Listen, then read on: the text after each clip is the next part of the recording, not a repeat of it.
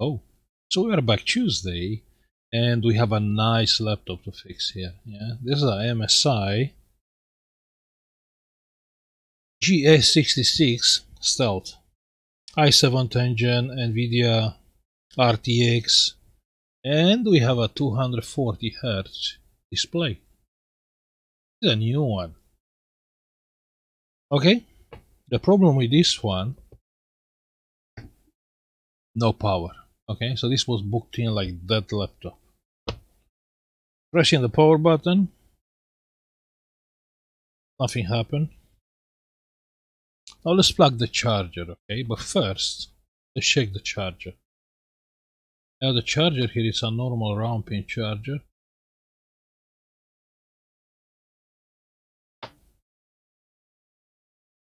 Minus plus so check on the screen, yeah? On the multimeter on the screen is 20 volts. The charger is good. Now let's plug the charger. Plug in the charger. The charger is plugged in, pressing the power button, and nothing happened. I don't know if it's supposed to be a light here, but it's not.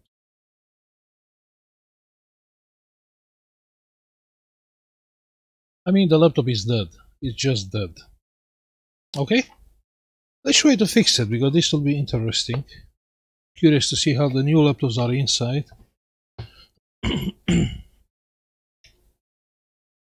I haven't opened the laptop so I don't know nothing about it has a factory seal. Oh yeah, and the, the seal is not broken. so no one opened this laptop actually.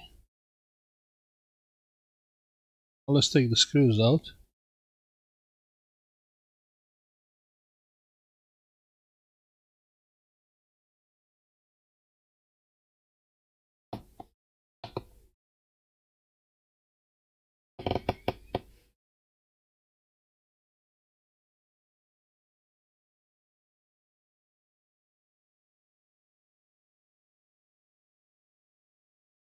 Hold down, the old left is the one with the seal.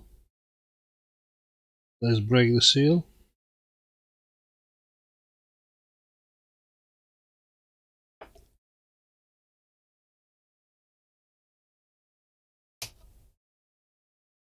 Now let's open the back cover.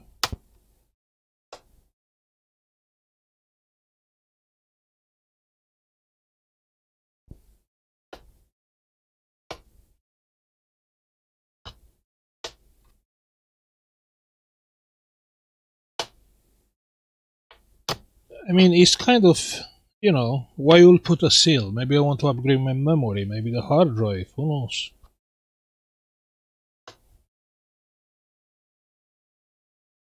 I mean, you should not stop someone access on a gaming laptop.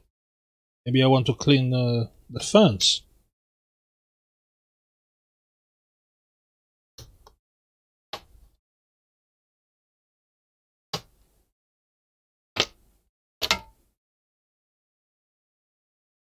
Wow, proper nice. Actually have three fans.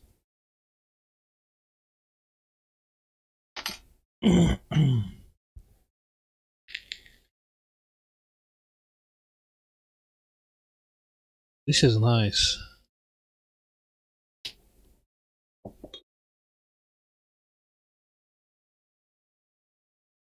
A 16 gig total memory M2 hard drive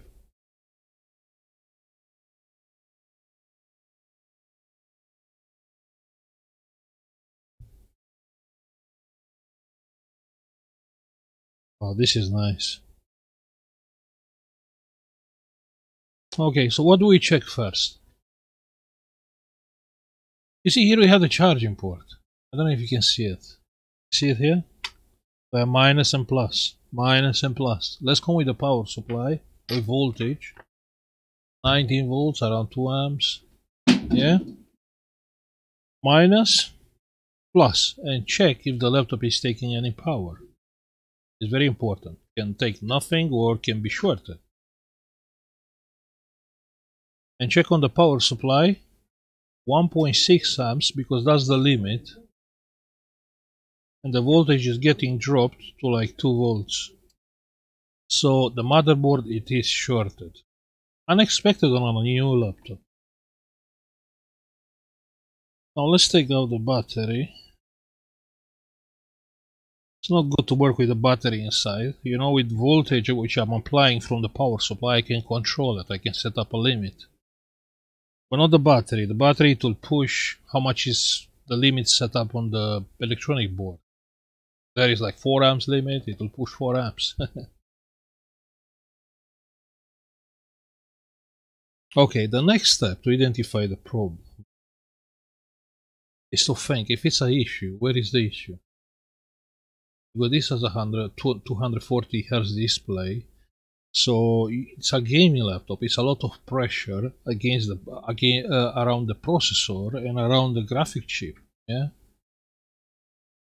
that's the reason why they have big heatsinks. If they have big heatsinks, they also they have uh, big power supplies.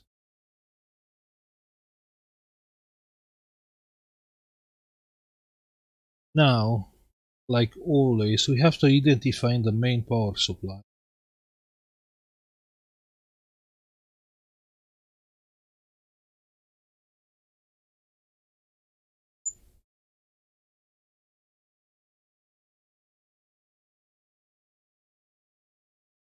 I was thinking it's okay, it's nothing.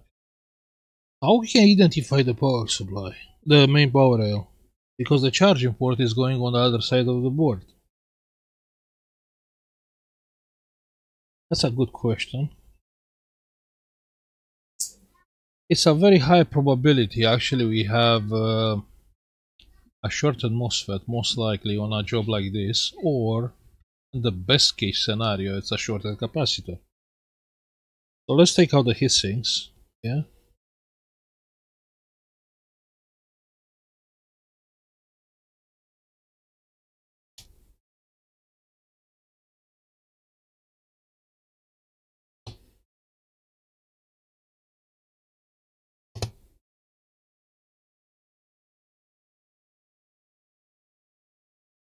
Good. Now the fans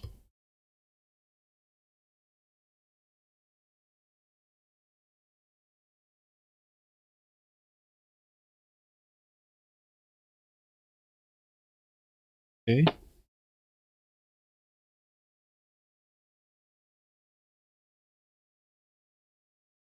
Now let's try to take out the heatsink. Let's be sure we are unplugging the fans. I believe those are digital fans.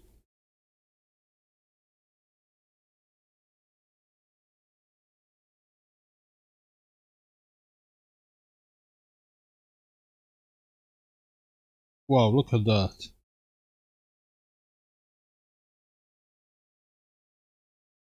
Now, I'm pretty sure no one opened this laptop because uh, we had a seal, you remember? So probably that's how it's from the factory. Now, I can't see any liquid damage.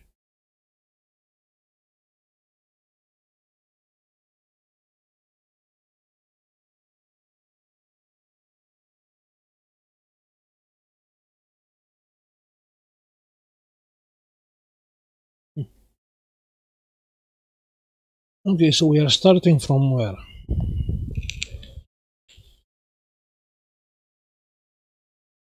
You know where sh we should start?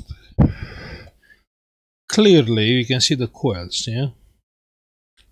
And clearly you can see those capacitors, yeah? Electrolytic capacitors. And here, electrolytic capacitors, and I believe that's our main power rail, but we can check. Let's switch to diode mode. plus we plus 0 and we ground 0 see clearly here is a short. Okay let me check with a different power supply. Just to be sure this is our main power rail.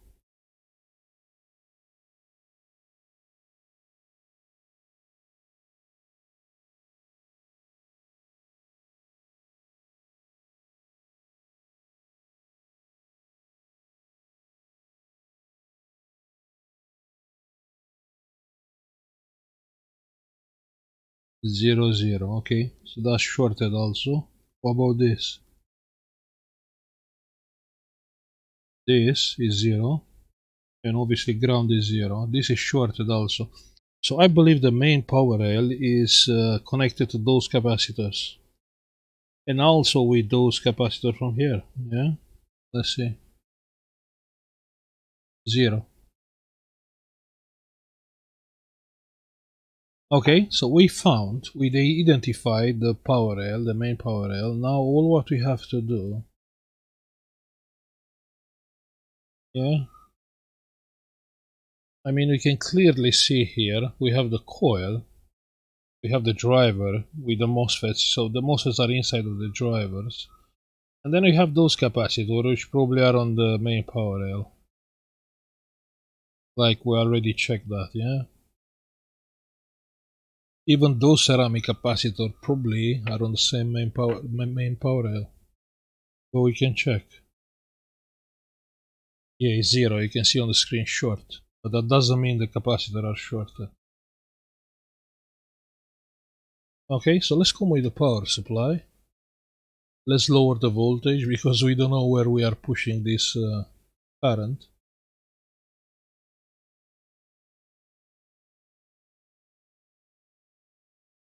Okay, ground.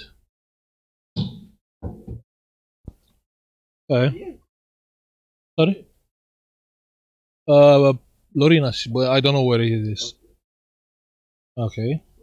And we are coming with plus. Like either here, either here, doesn't matter.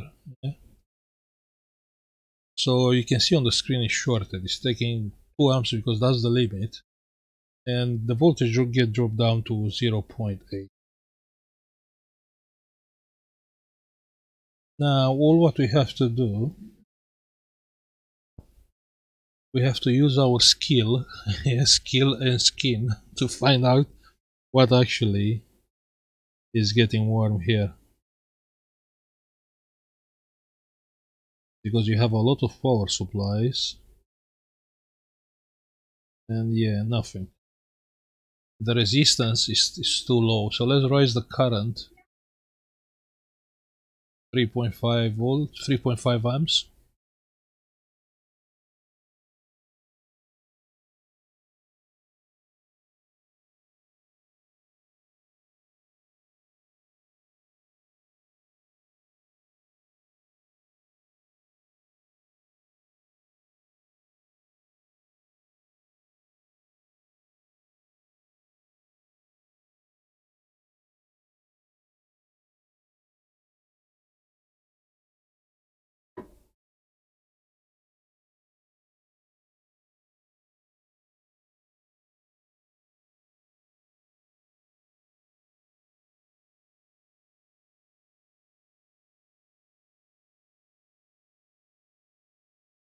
There's still nothing, I can't feel anything. Let's raise the current, 4 amps.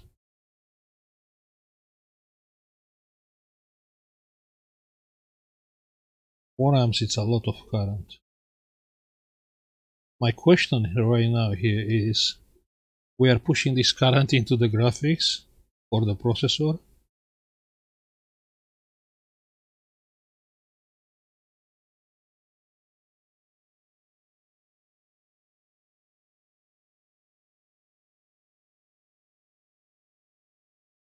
I can't feel anything.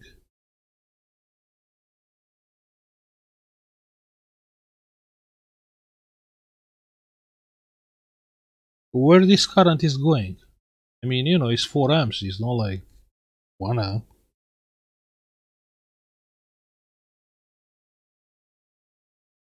Where this current is going?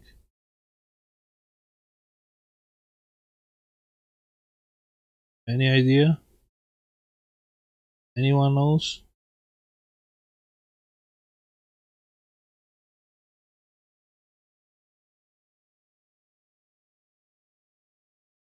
Okay, let's push 5 amps.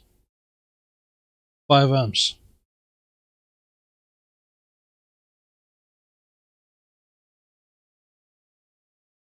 I swear I can feel the graphic chip getting warm.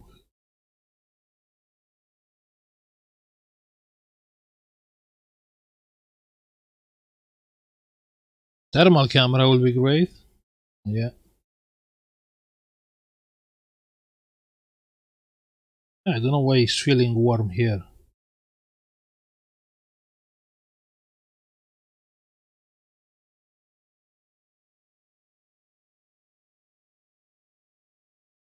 Why is feeling warm around the screen connector? Hmm? Give me one second.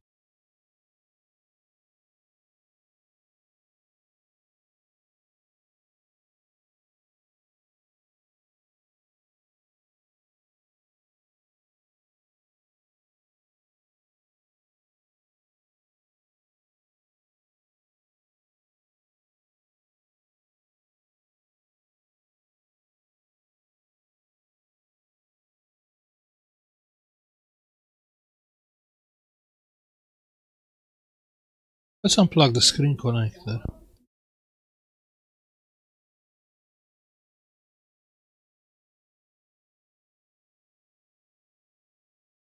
Look how the screen cable is looking those days. Okay, let's go with the power supply again. Minus. Plus.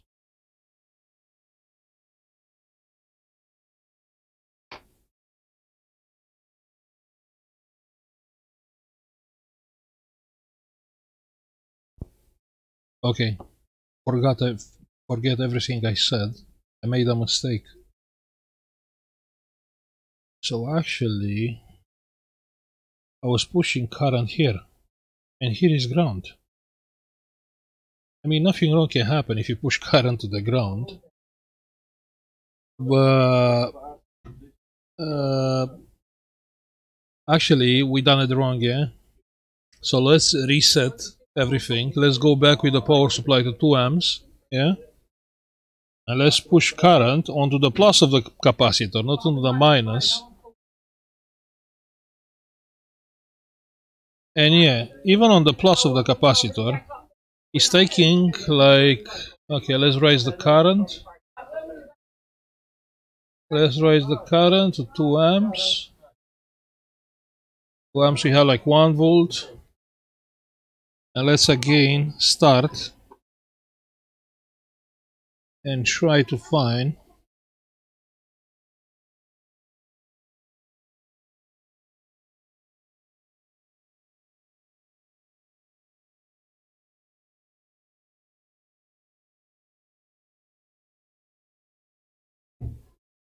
I can't feel anything. Let's raise the current. 3 amps. 3, 4 amps. 4 amps.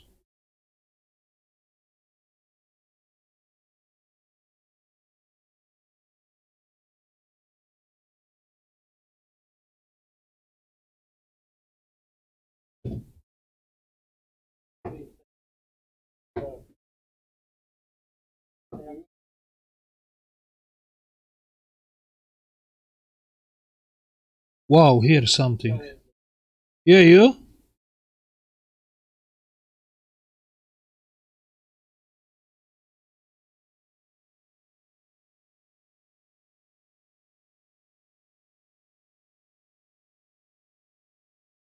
Something here, yeah? Let's use some, uh, yeah. Uh, morning, give me second. Yeah?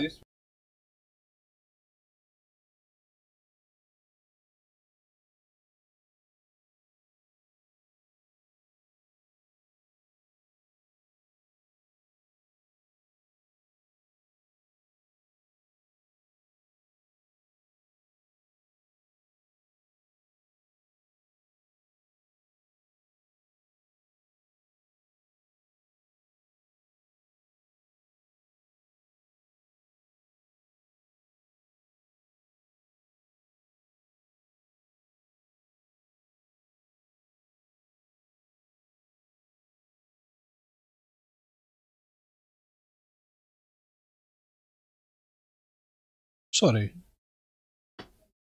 Okay, let's go together. Let's use some alcohol here. Possible we, we, to be lucky, you know, maybe it's just a capacitor. Uh, let's use some alcohol. Here. Now let's check under the microscope.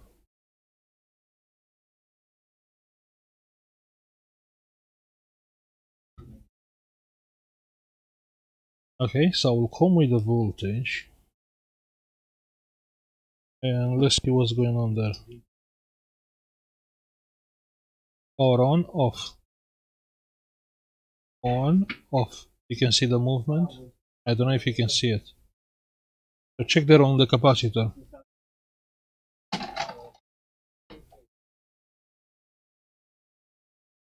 On, off. So you can see that capacitor even go dry quickly. Hmm? Wow. This was simple. This was simple.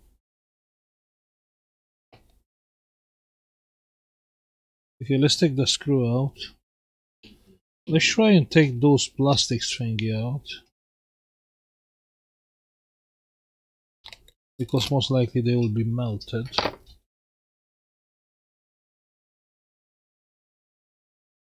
Hot air machine. Now let's try and take out that capacitor, yeah?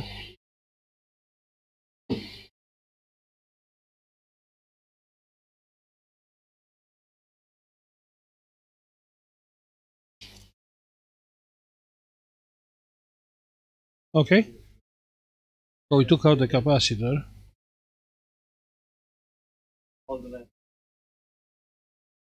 Now let's check for short again the power supply.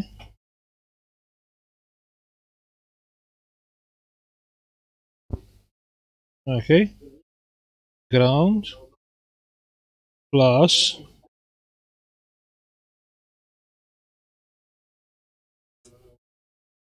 no short anymore.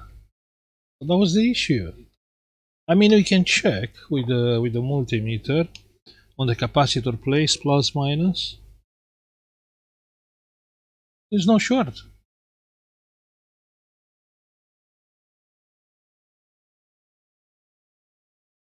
Okay, before we are doing a good job, I mean, like, uh, you know, if we open the laptop, you know, clean the dust from fans, replace the thermal paste, before that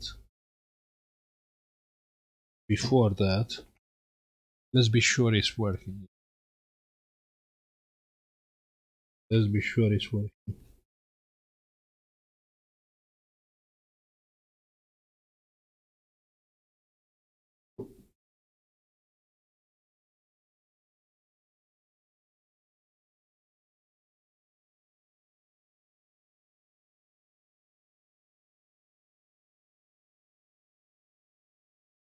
fan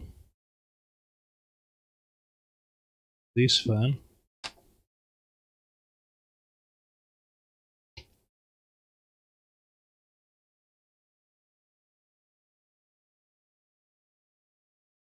just for uh, just for testing yeah? Just for testing.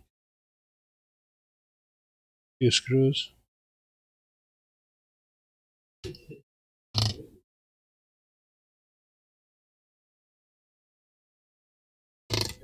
just for testing.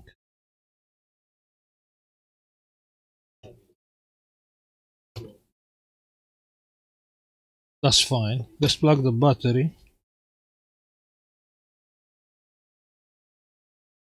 Charger. Let's plug the charger.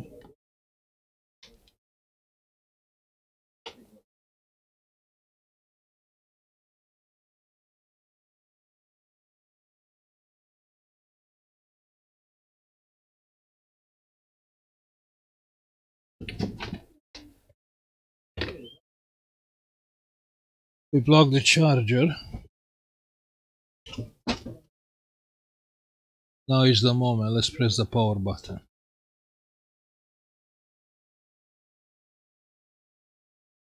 and you have light on the power button you can see orange light The fans are spinning, at least one fan is spinning. And we have picture on the screen. Actually the problem is solved. And the laptop is working fine. That was the problem. You see in this case, and I was about to swear it's a MOSFET fault because it's a lot of pressure on MOSFETs, not an electrolytic capacitor. I don't ever think on this channel we found an electrolytic capacitor shorted. Actually, it's an electrolytic capacitor, it's not a ceramic one, multi-layered. Why the fans are not spinning? Probably they are spinning only on the graphic chip. Here I see are spinning. Only on the graphics is getting uh, warm.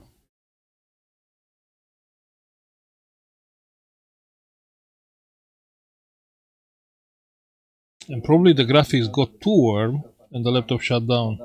Or not. Yeah, probably. Probably that happened. Because I didn't put the screws, all screws here. Yeah. Because yeah, all fans are spinning. Yeah.